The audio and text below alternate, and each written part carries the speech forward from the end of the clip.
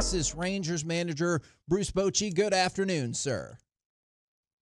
Good afternoon or good morning here.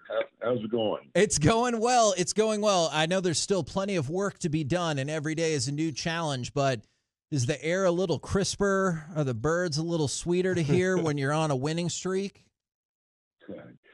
Yeah, no doubt. No doubt. You sleep better. Uh, yeah, it's really uh, been really cool to see you know, how the guys have uh, played here this past week and gotten on a good roll, playing more the brand of baseball that we're accustomed to. Uh, we're you know getting those big hits. Uh, we're getting some slug and pitching. You know, we've talked about that. It's it's been pretty consistent all year. But the defense, uh, what a great job uh, they've done through all this. So you know, we got uh, you know four more big games here before the break, and that's our goal is to finish as strong as we can here to you know stay in this thing and make some ground.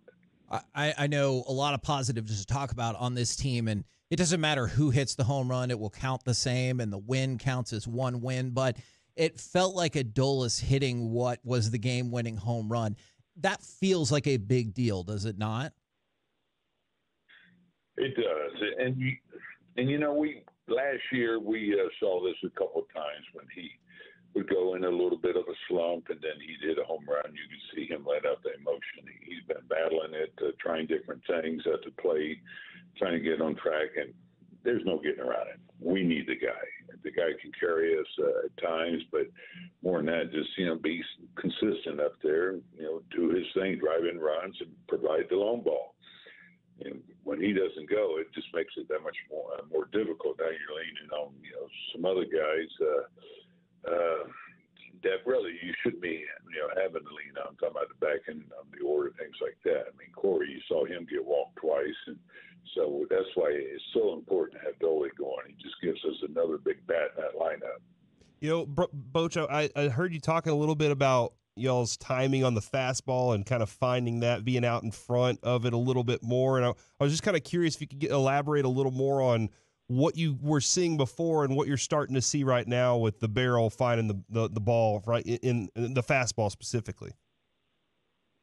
Yeah, it's all about being on time with the fastball, and we, you know, just uh, we're catching it too far back in the stance. Uh, you know, when you hit a uh, a pitch uh, for, for the most part, especially middle end. You know, you got to catch it out front a little bit. Uh, the head stays behind the ball. The, the swings in front of the eye, so to speak.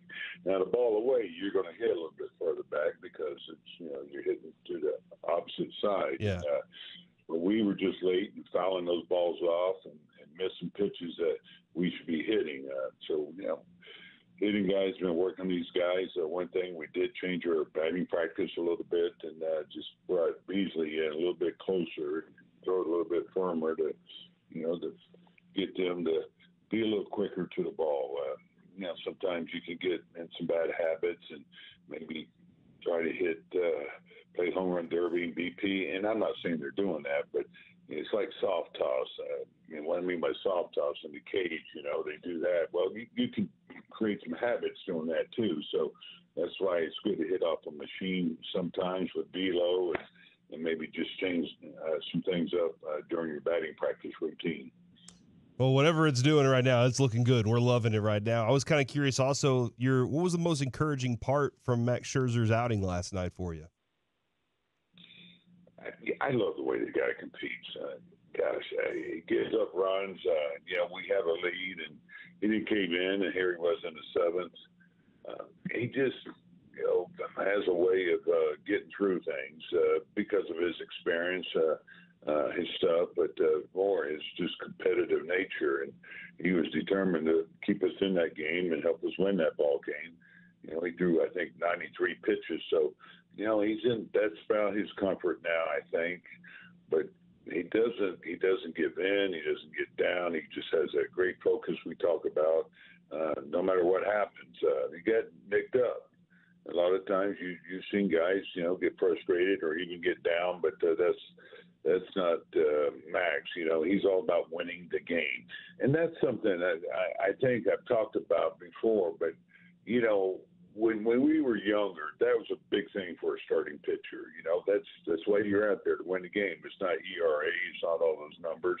It's getting a W. And you know, now those starters don't quite get those W's like they used to, and I, I think that's taken away a little bit from you know that part of the game.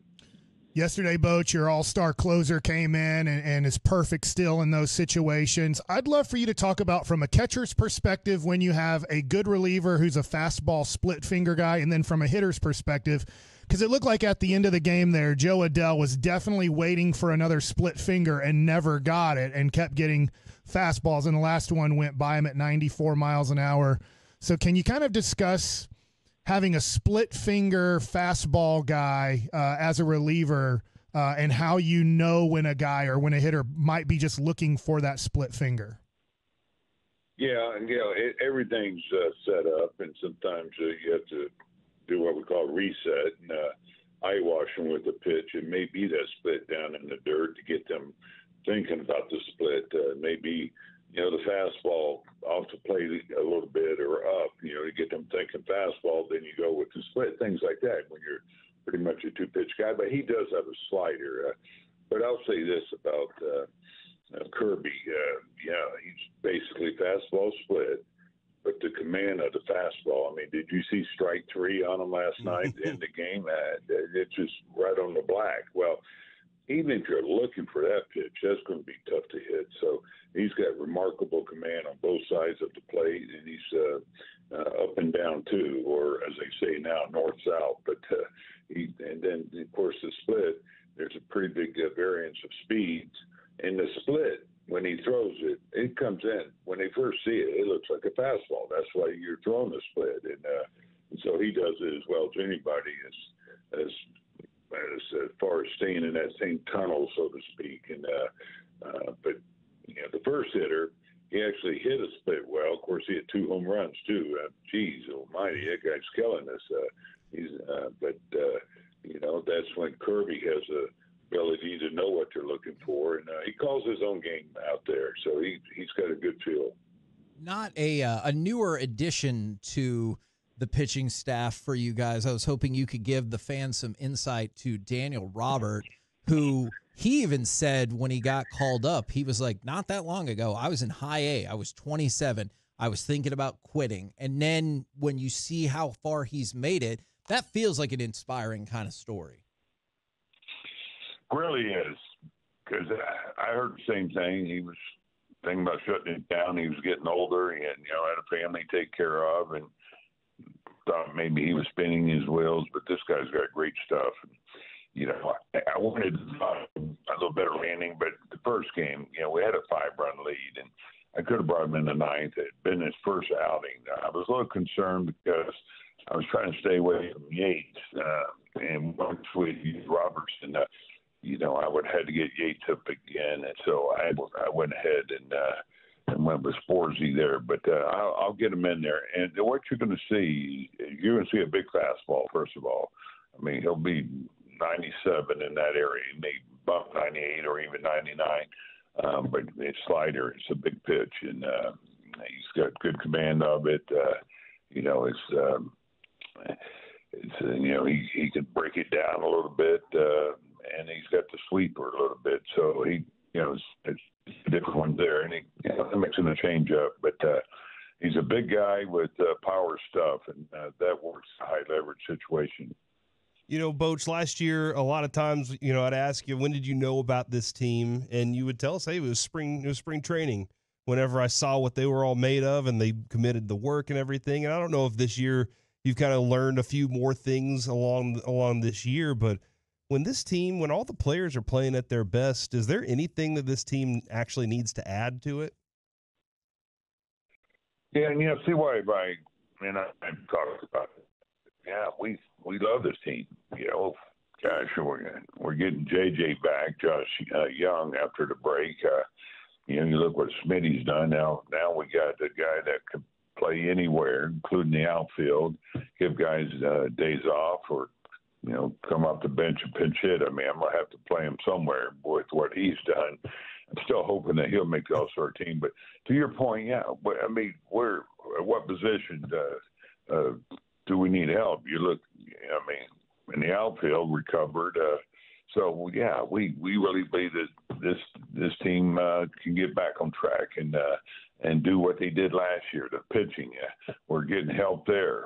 You Mahle had a, a good two innings yesterday. He's on his way. Uh, Bradford, he's spinning the ball. He's uh, throwing his pin, so he's on a pretty fast track to, to come up here and help us. So we we got help coming. So that's almost like making a move at the deadline when you get guys like that. And then you look at deGrom. He's amazing. Uh, I mean, he's he threw some change up change ups yesterday, but or, or two days ago, but he's uh, he's throwing easy. It's like 97, 98. So you know he's he's on his way too. So you know it's pretty cool. You know when you look at these guys, you know over the past year and watch your progress and uh, where they're at now.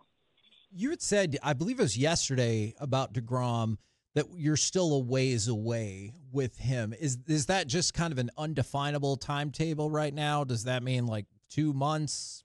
Can you tell us anything about that?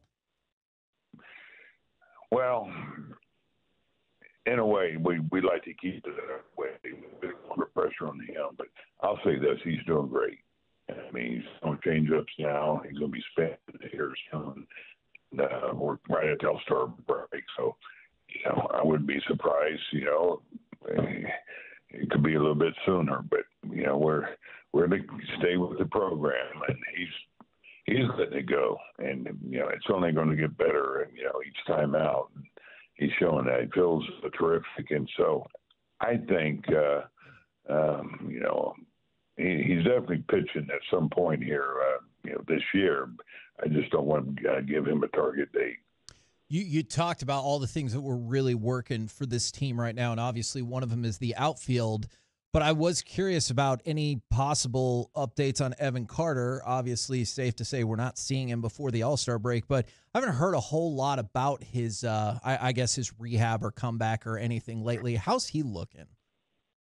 Yeah, the reason you haven't heard a lot, he hasn't been doing a lot, to be honest. But uh, well, he did get a, another image, and uh, that was great news. So uh, didn't show anything, so we can start ramping him up again. So you'll you'll start hearing uh, more about him. Uh, but we kind of had to back off there and had a little concern that you know you know something was going on. But um, I think he's uh, he's excited that uh, didn't show anything, so he'll get back to doing baseball activities. Excellent. Always love talking with you, Boch. Tell the guys that Metroplex is pumped, and good luck today. Thanks. As always, I'll take any luck you send and uh, just keep rolling. All right, go get Rangers.